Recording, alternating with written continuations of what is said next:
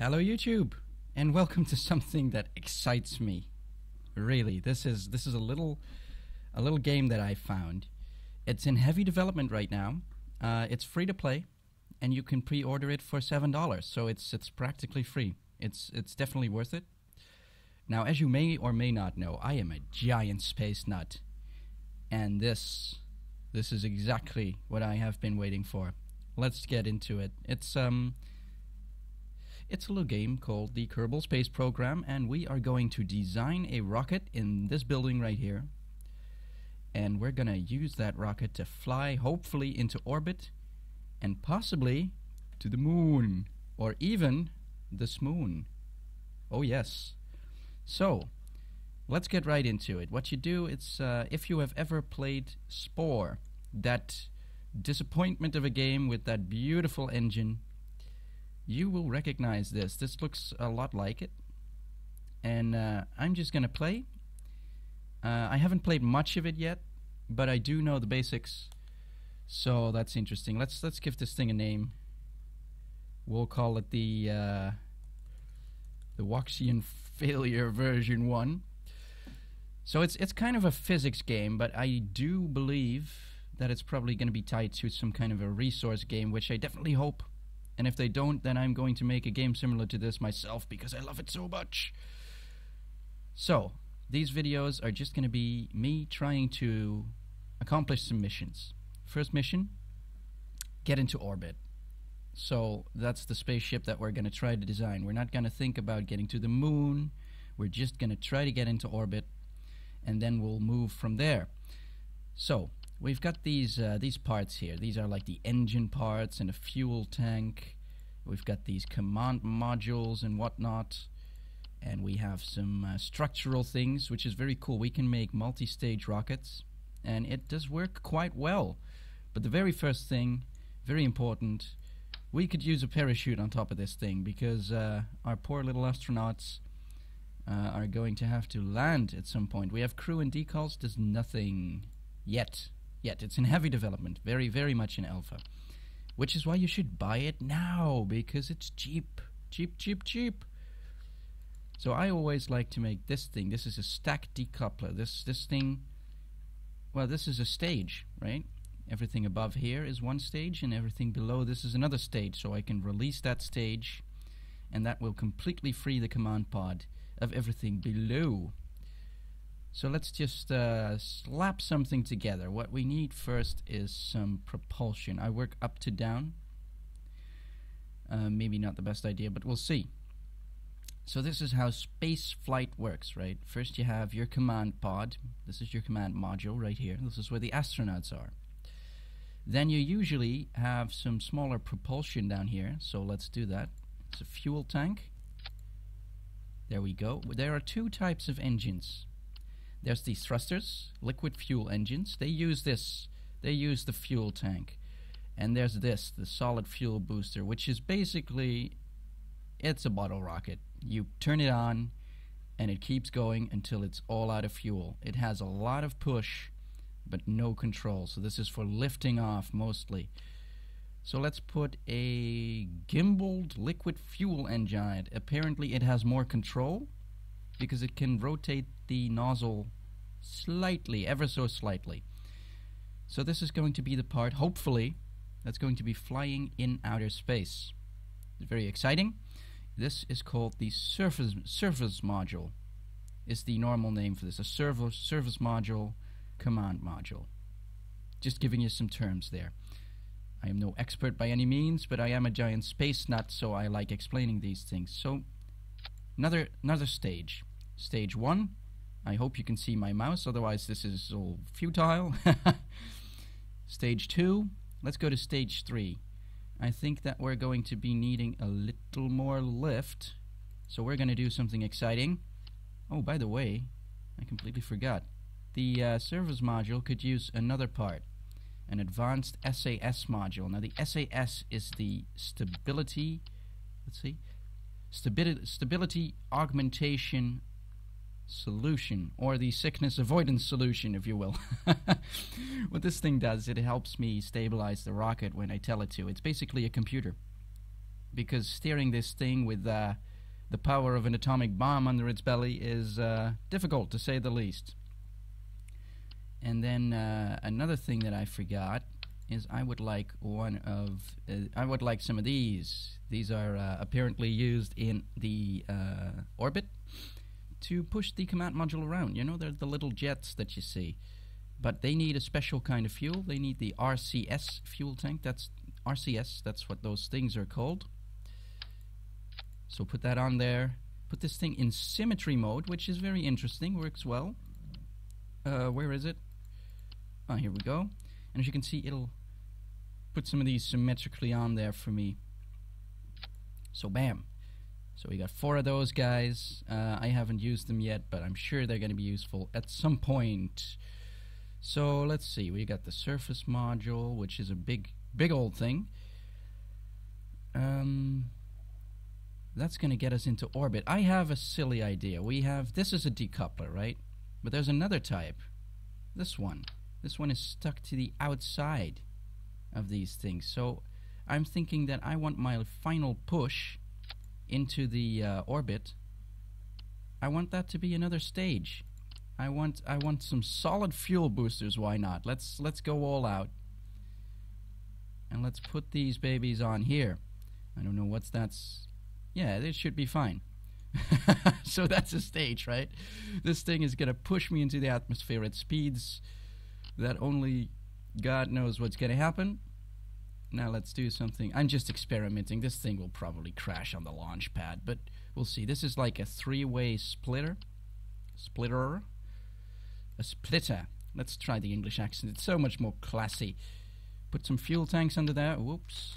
Let's put it into symmetry mode. Always useful. Ah, let's put some more fuel tanks in there. Why not? Because I need a lot of fuel to get into uh, the atmosphere. So those are pretty big, the engines there, but uh, let's do one more stage. And people that know this game are going, oh my god, man, what are you doing? You fool! And we'll do the integrity later. Um, and put some more fuel boosters down here. Um, but I don't think that those three are going to be enough to boost me properly. So let's try something unorthodox. That is always a good thing. Uh, yes, we put some more up here. See what that does. So now I have to, uh, what I want to happen. And whether this will happen is uh, some a matter of some debate, but I want these three up here and these three down here to fire in the same stage. So let's see where they are. Oh, they're in the same stage. That is good. Somehow, this program is very clever in trying to find out what you're trying to do. So, th this may actually fly. It may. It probably won't, but um, it may. It may. Let's uh, put some integrity uh, thingamajigs here. Uh, these hold the thing together, which is. Oh, seems that didn't work quite well. It's still an alpha. It has some uh, some there we go. That looks... Ah! See what I mean? It tells me that I can, but it can't. Ah, but that, that worked. So let's put some struts here. These things do exactly what you think they do. They hold the whole thing together.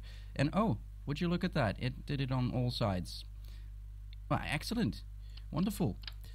And uh, just some more down here. Did it do it on all sides? Oh, it did. Wonderful, wonderful. So, we're almost there, guys. All we need is some uh, stylish fins, right? You need fins. Does that interfere? Oh, it most certainly does. Ah, who needs fins? Fins are for the weak. Let's just launch this thing. A little while. Takes a little while. Oh, yes. It's, it's a little laggy in the beginning, but it gets better. See, now it's all smooth. Look at this crazy thing, huh? All right. So, this is the launch pad. We have made our missile and we are going to fire it up into the air and hopefully achieve orbit. And um, I'm not going to explain all of the details. Um, you'll just see me do it. hopefully. We have our three brave astronauts, Bill Kerman, Jebediah Kerman, and Bob Kerman. Hey guys, how you doing? Now, take a look at these guys because their expressions will change based on your situation, which is usually an expression of complete and total horror. All right, so this here is my throttle right here. You see it going up and down? Excellent. I assume that this is the G-force on my men, but I don't know. And uh, let me press T here to put on to turn on the SAS. It will attempt to stabilize this thing. I will put my thrusters. Those are these thrusters. I can't control the uh, the bottle rocket ones, but as soon as I get control over these, they will be at 80%. So I will have to manually separate the stages. That is, if at all we get off the ground. So let's do a countdown. Five, four, three, two, one. Oh, it flies and it's going up. Excellent. You see the fuel is going down. I'm sorry if this is quite loud, but it will get better soon. There we go. Oh, oh, some slight overheating, but it's no problem. We're almost through the first stage. Almost. Separation. Go. oh, okay. It looks that was not what I intended. Uh, it looks like the bottle rocket's fired. But that is fine. That is fine. Why not?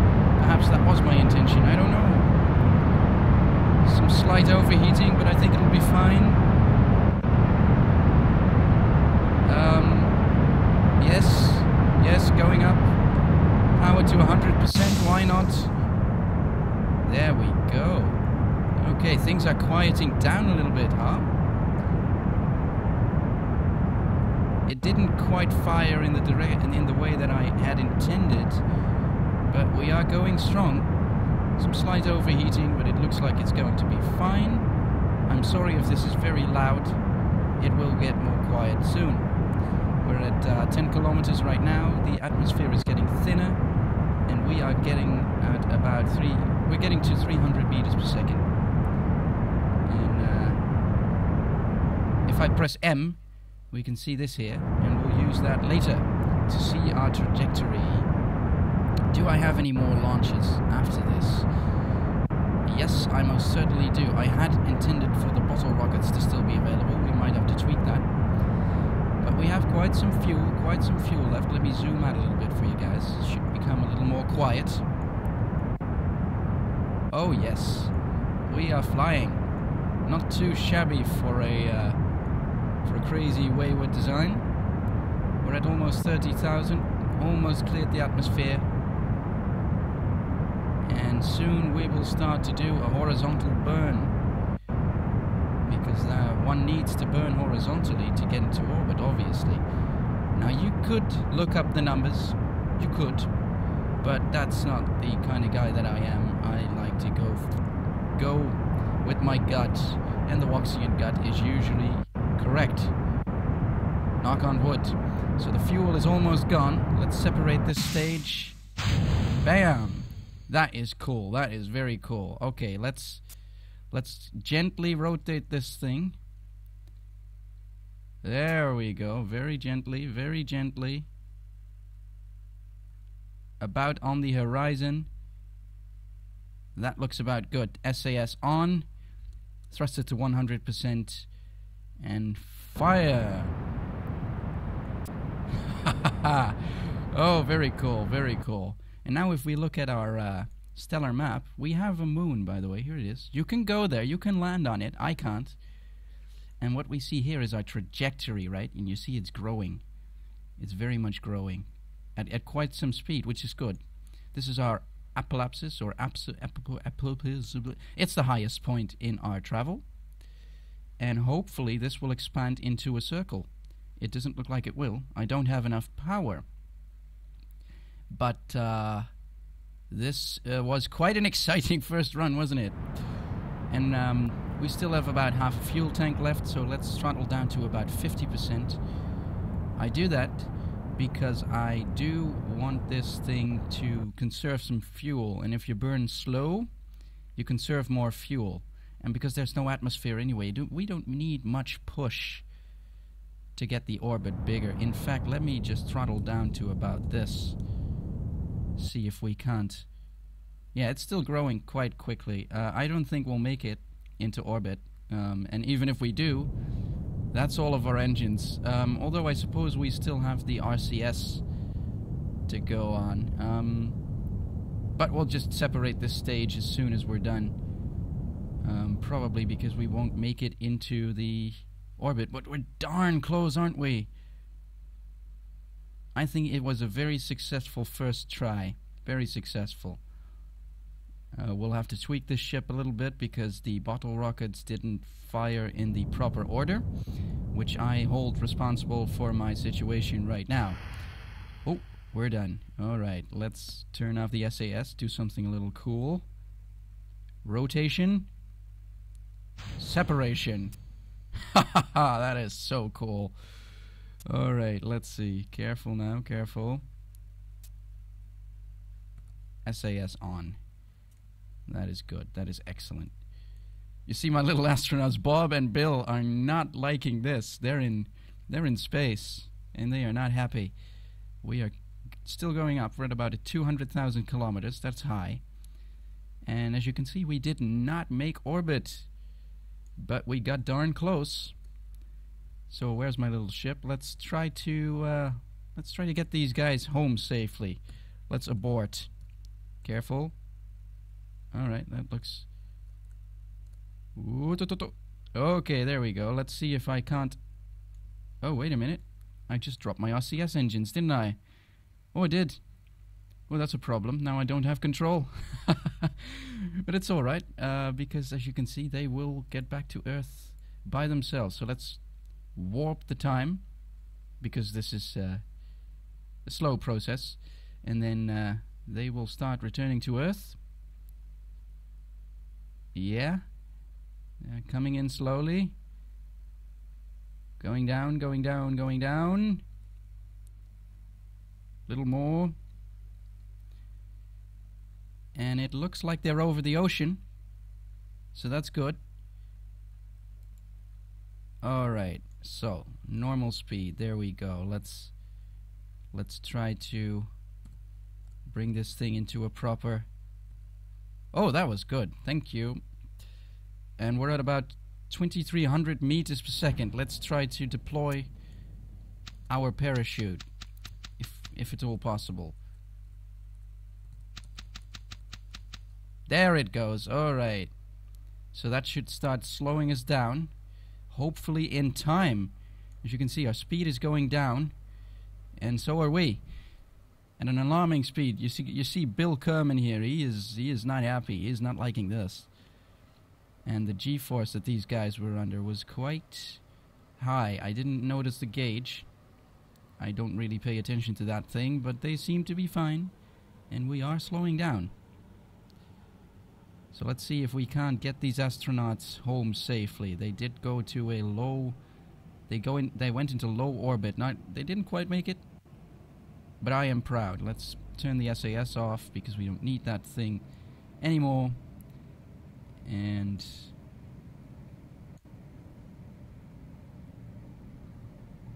not too shabby, not too sh- Oh, they're gonna land. I thought they were gonna end up in the ocean, but apparently they're not. It's unfortunate for them. And now at some point I'll have to deploy this thing. I think I have to do it manually by pressing spacebar, like everything else, but uh, we'll see. We can't do that until we are very close to the Earth, as I understand it. But I don't know. In any case, they are slowing down, they are slowing down. And at some point, this thing should be able to deploy. Let me just keep ramming the spacebar, holding the spacebar, I don't know. There we go, it's opened. And they're slowing down. 13.2 meters per second. 0.1 oh we're at the dark side of the planet it's, it's evening over here. That is that is amusing. Bill is a little traumatized but he's fine and jebediah and bob are loving it let's see if they can survive this uh, this drop we have here. We're we're still quite our velocity is quite high. Oh, they made it! They made it! They're all they're all alive! Yay! Congratulations, K- Kerman brothers! You have made it. So let's end that flight. So that went pretty well for a first go, I think. Um, let's save our spaceship and, and we will continue this crazy adventure in the next episode. Thank you very much for watching, and I hope you enjoyed this. Let me know. Don't worry, by the way, Minecraft videos and Space Age videos, uh, which is Polyverse to you, are coming.